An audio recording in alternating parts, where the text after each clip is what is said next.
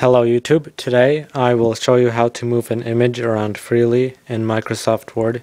So here I have my blank or blank paper and we are going to use a picture of bacon. So you just copy the image, paste the image, control V, and you want to move it around freely on the page to like print it in the center or whatever. But you'll notice that no, it doesn't work. And the only way to move it would be using the space and enter keys, which is really annoying. So, what you do is then click the image, go to Format, Text Wrapping, and you don't have to have any text.